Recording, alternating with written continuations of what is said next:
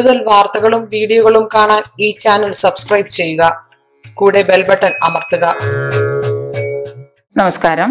രോഹിണി നക്ഷത്രക്കാർ അനുഷ്ഠിക്കേണ്ടതായ കർമ്മങ്ങൾ.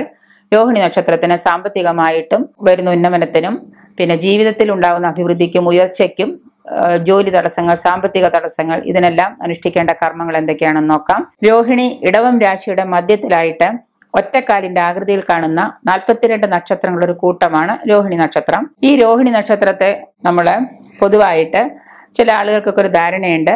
അഷ്ടമി രോഹിണി ശ്രീകൃഷ്ണന്റെ നക്ഷത്രമായതുകൊണ്ട് അതിന് കൂറുണ്ട്. അത് നക്ഷത്രത്തിന് ചില ദശാസന്ധികളൊക്കെ ഉണ്ടെന്ന് പൊതുവെ ഒരു ധാരണയുണ്ട്.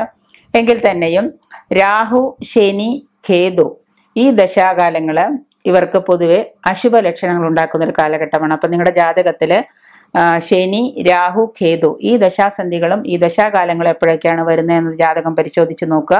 ആ സമയത്ത് നിങ്ങൾക്ക് പൊതുവേ വരുന്ന കാര്യങ്ങളെല്ലാം അശുഭ കാര്യങ്ങളായിരിക്കും ഇപ്പോൾ ഒരു ജോലിക്ക് ശ്രമിച്ചാൽ ജോലി കിട്ടാതിരിക്കുക സാമ്പത്തികമായിട്ട് ഉന്നമനം വരുന്ന സമയത്ത് അതിന് തടസ്സം വരിക. അതുപോലെ എന്തെങ്കിലുമൊക്കെ വിവാഹമൊക്കെ വരുന്ന സമയത്താണെങ്കിൽ ഈ ദശാകാലങ്ങളിൽ വരുന്ന വിവാഹങ്ങൾക്കൊന്നും തടസ്സങ്ങൾ വരാൻ നടക്കാതിരിക്കാം.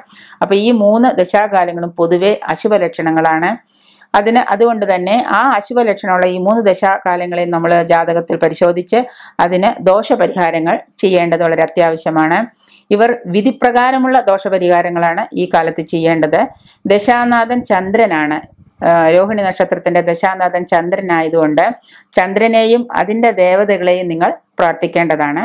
തിങ്കളാഴ്ച വ്രതം അനുഷ്ഠിക്കുന്നത് ഏറ്റവും ഉത്തമമാണ്. തിങ്കളാഴ്ച വ്രതം എന്ന് പറഞ്ഞാൽ സോമവാര വ്രതമോ ഉമാമഹേശ്വര സംവാദം നടത്തിയിട്ടുള്ള വ്രതമോ അങ്ങനെ ഏതെങ്കിലും മത്സ്യമാംസാദികളൊക്കെ ഉപേക്ഷിച്ച് എണ്ണ തേച്ച് കുളി മത്സ്യമാംസാദികളൊക്കെ ഉപേക്ഷിച്ച് അമ്പലങ്ങളിൽ ഭഗവാന്റെ അടുത്ത് പോയി തൊഴുത് അങ്ങനെയുള്ള തിങ്കളാഴ്ച ദിവസങ്ങളിലുള്ള വ്രതം നോൽക്കുന്നത് ഈ രോഹിണി നക്ഷത്രക്കാർക്ക് വളരെ ഉത്തമമാണ്. ഒരുപാട് കഷ്ടകാലങ്ങളൊക്കെ കുറഞ്ഞിരിക്കാൻ അത് വളരെ നല്ലതാണ്. തിങ്കളാഴ്ചയും രോഹിണിയും ചേർന്ന് വരുന്ന ദിവസം. തിങ്കളാഴ്ച ആയിരിക്കണം രോഹിണി ആയിരിക്കണം പൗർണമിയും അന്ന് പൗർണമിയും കൂടി ആണെങ്കിൽ വിശേഷാൽ ആണ് പൗർണമിയും ചേർന്ന് വരുന്ന ദിവസങ്ങളിൽ പ്രത്യേക ശ്രദ്ധയോടെ വ്രതമനുഷ്ഠിക്കുക അത് നിങ്ങൾക്ക് കൂടുതൽ ഐശ്വര്യം വർദ്ധിപ്പിക്കുന്നതിനും ധനവരവിനും വളരെ നല്ലതാണ്. പൗർണമിയിൽ ദുർഗാ ക്ഷേത്രത്തിലും അമാവാസിയിൽ ഭദ്രകാളി ക്ഷേത്രത്തിലും ഈ രോഹിണി നക്ഷത്രക്കാർ ദർശനം നടത്തുക. ചന്ദ്ര ചന്ദന നിറം അതായത് ചന്ദ്രന് വെളുപ്പാണ് അതുപോലെ തന്നെയുള്ള ചന്ദന നിറം പിന്നെ വെള്ള നിറം എന്നിവ രോഹിണി നക്ഷത്രത്തിൽ ആളുകൾക്ക് ഇഷ്ടപ്പെട്ട നിറങ്ങളാണ്. ആ നിറത്തിലുള്ള വസ്ത്രങ്ങൾ ധരിച്ച നല്ല കാര്യങ്ങൾക്ക് ശുഭകാര്യങ്ങൾക്ക് ഇറങ്ങി പുറപ്പെടുന്നതും ഇവർക്ക് വളരെ നല്ലതാണ്.